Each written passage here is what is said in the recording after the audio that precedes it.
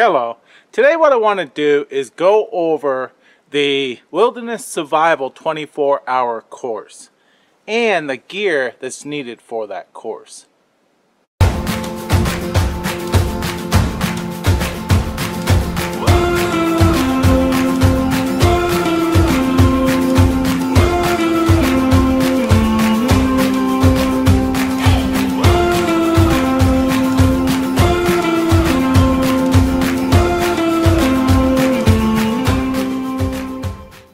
The Wilderness Survival 24 hour course was designed to offer you and train you in the skills needed to spend a few hours or a few days in the woods if you're ever in that survival situation. That could be if you're lost or you're stranded.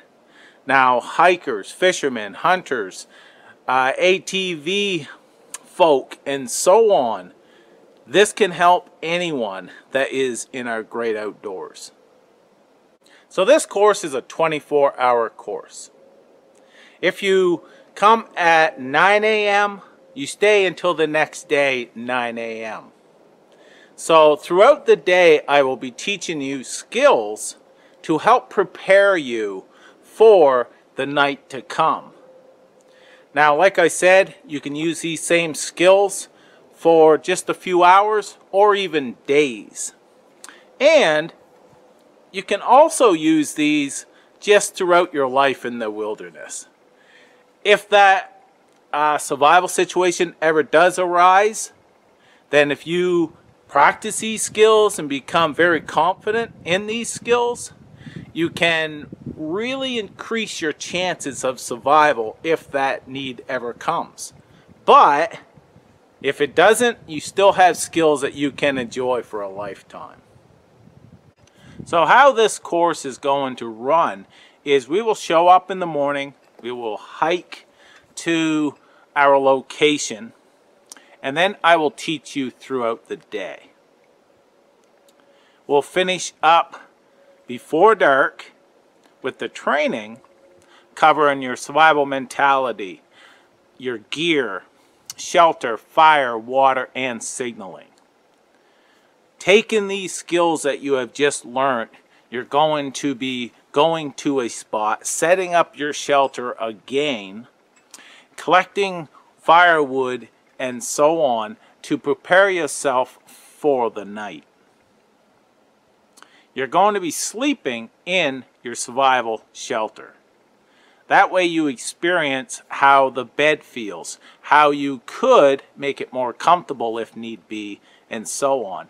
So you get the knowledge in the start of the day, th throughout the day, and then you experience what it would be like using these skills in a situation that is controlled, but you take this home, you learn it, practice it, and you can become very competent in these skills. And they can truly increase your chances. Now we're going to go over the gear. First off, check the weather, prepare for the worst, and dress appropriately. Footwear is very important as well. Having enough food and water for the 24 hours is very important. So that's first thing is you're going to be making sure that your basic needs are covered. Food, water, and your first form of shelter, which is your clothing. I train with minimal gear because I want to show what it is recommended to carry when you go into our wilderness. And I show how to use the gear that I have in here and truly increase your chances of survival or truly enjoy your experiences in the wilderness. So just having a few items, most people may carry it. So the less I can get it down to that people can carry and still be safe, then that is my importance. To be able to get someone to carry something. Recommended gear can truly help.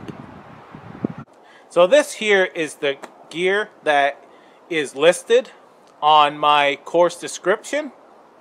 And this here is what I'm going to train with and you'll be using to spend a night in our forest. Let's talk knives. This here is my survival bush point, my design. But that knife there, it has a full tang, which means it's all one piece of metal with wood scales. It's got heft to it. I have split wood. I've trimmed trees. I've constructed shelters, made meals. This is a one tool option. Having a very nice, robust knife can make all the difference out here. If you have something with a small blade to take off finger-sized limbs that you may need to do fast, you're not going to do it. You want something that you can swing one, two chops, and you're cutting off limbs finger size. But you can also carve a toothpick because it's small enough to do that job as well. So this here has been a great knife. I'll leave a link down below. I have Reptile Toolworks that makes these for me and sells them. And they've been an awesome survival knife. I'm going to show you how to make a long fire and how to use it in conjunction with your shelter. And having a good buck saw or a folding saw can truly help you get your firewood fast. You cannot take down a six inch tree with a small folding saw that isn't going to take you a very long time to do. This saw here, I've taken down 8, 10 inch trees with it. Takes a little while, but I still can. It's the same thing as a buck saw. Having a good saw for the course is very helpful because you're going to need a lot of firewood to spend the night in the forest. So a knife and a good saw is two of the recommended pieces of gear. Also, I've got a mirror here and a whistle. I actually have another whistle on my pack as well. These stay on my body, but I have one on my pack. So a whistle and a mirror as well. Fire kits can be very personalized and elaborate. Myself, I like to stick with simple and effective. Something that is very easy to do, but gives you great results.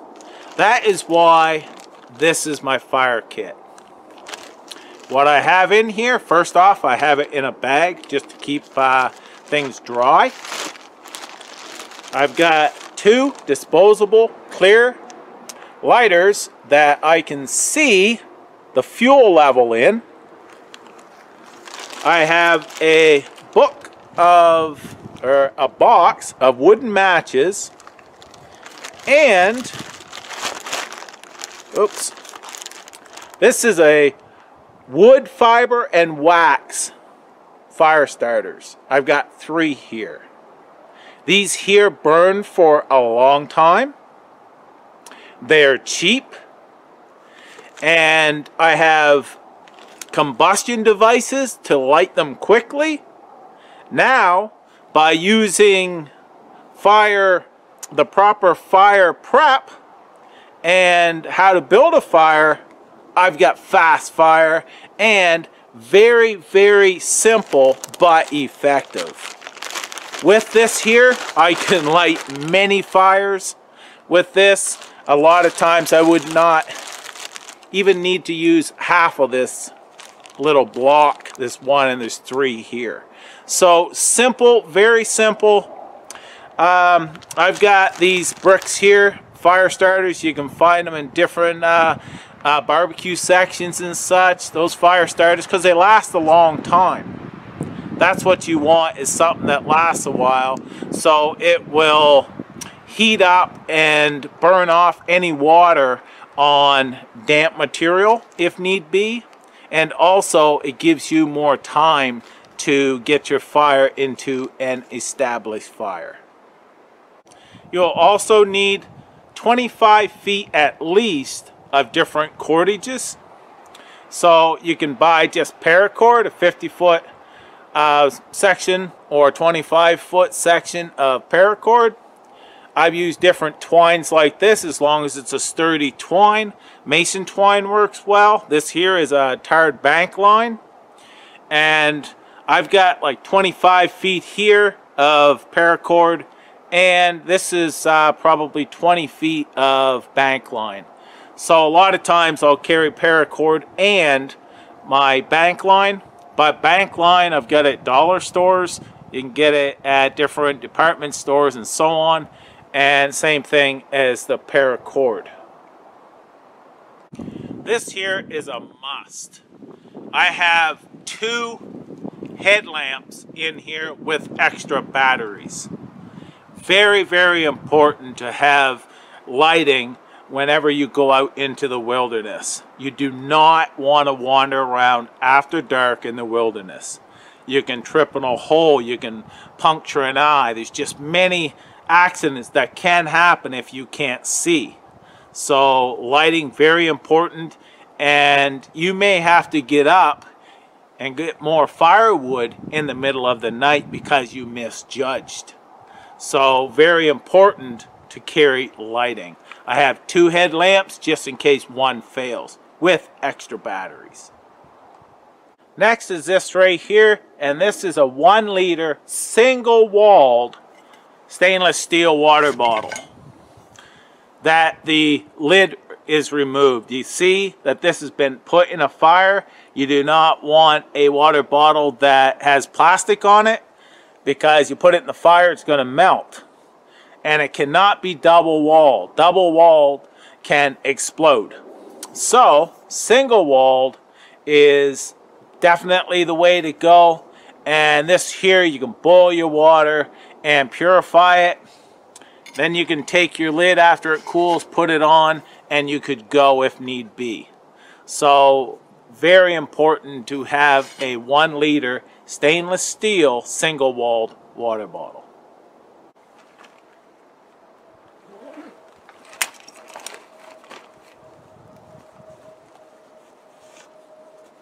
I have a first aid kit in here and I bring it out whenever I'm training just in case someone may need a band-aid or need medical attention. I am first aid trained.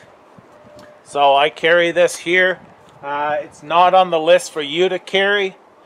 If you want to bring out a personal one, if you want to put a band-aid on and such, that's up to you. Now, also, very important, this is rain gear. This is a poncho and leggings. So I'm covered head to toe with this, and this is uh, my rain gear. Also very important to carry. Now, I mentioned about carrying enough food and water. This is a cook kit that I carry because you may have to cook your meals. And if you bring anything that you have to cook, you want to bring a cook kit, whether you're cooking it over uh, a campfire or if you're cooking on a gas stove and so on. Remember to bring something to cook your meals if you're going to need to cook them because nothing worse than uh, bringing a meal to the woods and you have nothing to cook it with and it needs to be cooked. This is what I bring out a lot and this is the APG. I've also got a bandana here that I can use to clean out my pot when I'm finished. But it has a lid, I've got the gas in here, I've got the stove right inside. It's a very nice um, very nice little kit that I can carry to quickly make me a meal. So this is just what I carry, but I have various cook sets and such that I use over a campfire, that I use on gas stoves and so on. This one here is just very convenient, so it's just the one that I have out here today. Next is leather gloves, also very important. To handle anything hot or working around a fire, very important. But also for gathering sticks and so on, you can prevent cuts with leather gloves. So good pair of leather gloves, insulated ones are also very good, especially around a fire. Now I train and set up a shelter with a six foot by eight foot poly tarp. I have spent many nights in all types of weather under a tarp shelter like this. And I teach this because from experience it does like I said simple and very effective. So a 6 by 8 tarp I've just got it wrapped up in here. I've got cordages in here. And I've just had this old bag that I stuffed it in. So very small, lightweight, and compact, but this is going to be our shelter. So that there can be found for a very cheap price, but can make a huge difference in your survival. Lastly, this here is a zero degree sleeping bag. I just have it in a dry sack, but this here is a zero degree sleeping bag that really increases your chances of survival big time. Anything above zero degrees, I don't need a fire. I'm not fire dependent. Anything below zero degrees, I save firewood. So very important to carry and especially for this overnight. Now, this here, it's up to you if you want to use a sleeping bag or not. It's going to be your own experience, but it's great to have. And if you do want to use it, it's up to you. So this gear that I covered is required for the course. You do have to bring it. The sleeping bag, like I said, you do not have to use it, but be sure to bring one. And make sure it's below rating of the temperature that is suggested. So very important to have a good sleeping bag. Now we're going to go over this real quick and just show you what we have. I've got a belt knife. I've got cutting tools. Some cordage. Fire kit. Headlamps water bottle, rain gear, leather gloves, a tarp, 6x8 tarp, a cook kit, and a sleeping bag. So there's not a whole lot here, but it's going to be a lot of fun to learn how you use this minimal gear and spend the night even in extreme cold or the heat of the summer. I want to thank you for watching. Take care. All the best.